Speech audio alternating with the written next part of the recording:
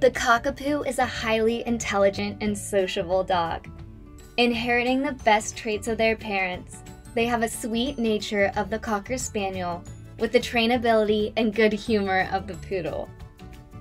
Cockapoos tend to be extremely friendly and thrive on social interaction. They're also known to get along well with other pets and children.